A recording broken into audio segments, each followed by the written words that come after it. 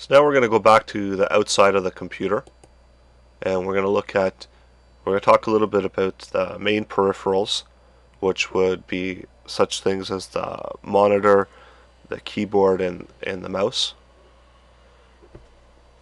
And when selecting a monitor, you have to take into consideration its compatibility with your system, the resolution of the monitor, depending on how much resolution you need, there's also um, a flicker rate, which is, um, we also have dots per inch, the refresh rate, which is a vertical refresh rate, depending on the hertz that it's, uh, it's at. We've got 60 hertz and 72 hertz, and we've got to take into consideration the actual viewable size.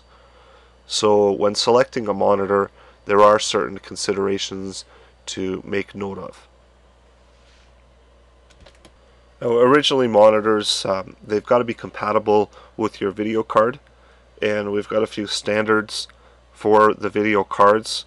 We have the original which was the CGA, then it moved to EGA, VGA which might be a little bit more familiar to you now and now pretty much all the monitors are SVGA monitors and which they support is 16 million colors and 1600 by 1200 screen resolution.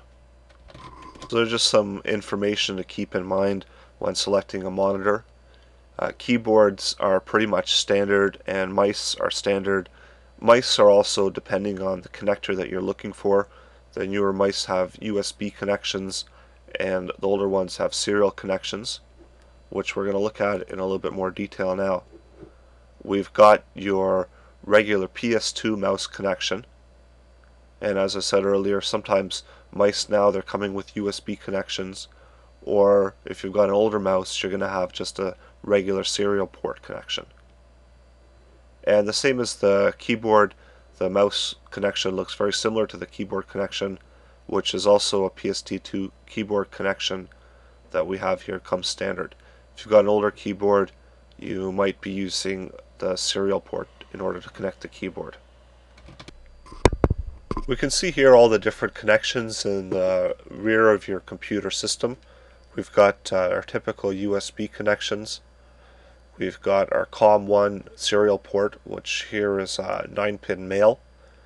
And we've got a parallel port, which here is a 25-pin female. And the difference between a male and a female is a male has pin connectors and a female has hole connectors. We've got here um, game port, which is a 16 pin female. We've got our speaker, our inline, and our mic connections. We've got here a typical BNC connection, uh, RJ45 connection, which is used mainly on network cards.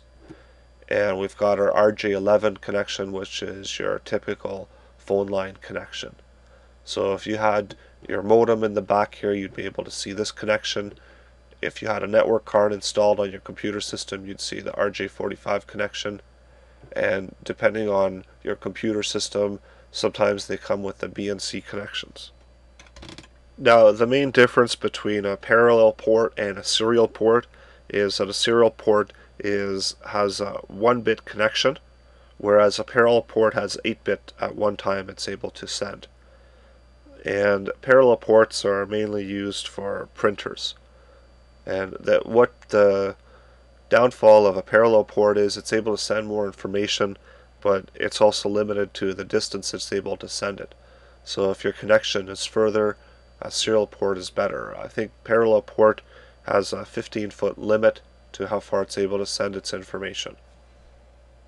So the parallel port, it has a bidirectional 8-bit operation and we've got some standards that the parallel ports have to go under which is the IEEE 1284 standard and the three different kinds of parallel ports that fall under the standard are the SPP which is a standard parallel port and this allows only single direction travel of data from your computer to a device.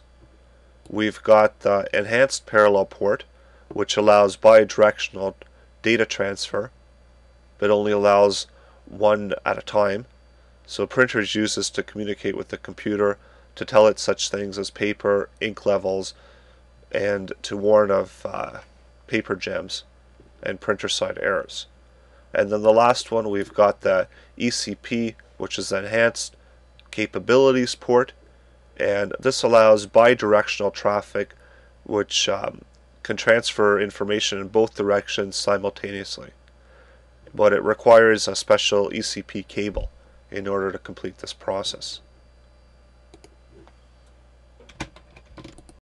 When we talk about our serial connections, we also have a standard, which is the RS232C standard. And we can see it here that in this standard we've actually got two different um, short forms here that uh, ways for the information to travel. One is the DTE, which is the data communications equipment, and the other one is DCE, which is data terminal equipment. Uh, DTE would include equipment such as your computer, where the information travels out of, and the other one, the DCE, where the information travels to. Um, it always has to be in a serial communication in order for it to work that one device must be designated the DTE and the other device must be de designated the DCE. And this is in order so that the pins align and the information can travel between the two. And this is why when you're connecting two computers together, if you only have a DTE data communication equipment, um, you're not able, to, you have basically a null connection because because you need to have a null modem adapter which cross connects the pins so that the signals can pass from DTE to DTE. The next connector we're going to talk about are USB ports and what they're able to do, they're able to connect up to 127 devices in a daisy chain. So you can have one host, which would be your PC, and you can have up to from 1 to 127 devices connected through a USB port. And USB ports support hot pluggable devices, which means that your computer does not need to be turned off and on in order to install the device. You can simply plug it into the USB port and if it's hot pluggable then it's just simply and recognizes that it's there. There is no need for external power for a USB. The USB takes the power from the system itself. The data rate is 12 megabytes per second with a shielded cable and 1.5 megabytes for an unshielded cable. And the maximum cable length of USB connections is 5 meters. Another kind of connector that we're going to be talking about is for SCSI devices. We can he see here that there's some sample of some SCSI connectors. And SCSI is short for Small Computer Shielded or Standard Interface and you'll see this short form used a lot when referring to these devices. Now what a SCSI is, it's advantageous over other ports because it's got a high rate of data data transfer and its ability is to support up to seven devices. That's eight devices including the controller card. And what kind of devices it supports are hard drives, tape drives, optical drives, scanners, CD-ROM drives, they can all use a SCSI interface. SCSI, use, SCSI uses an ID to specify the device, which are numbered from 0 to 7. And most SCSI adapters have to be set to SCSI ID 7. We've got four examples here of the different kinds of SCSI connectors that are available on the market. The first one is probably the most common, it's also known as the Centronics 50 pin or SCSI Slow and it's got a capacity of 5 megabytes per second for data transfer. The next one is an 8-bit SCSI Fast and it's got a capacity of 10 megabytes per second and it's got a 50 pin high density connector. The next one is the SCSI Fast Wide 16 bit or SCSI uh, 3 and it's a 68 pin high density connector. And then we've got the newer model of SCSI which is the NC the SCA which is an 80 pin as an 80 pin density.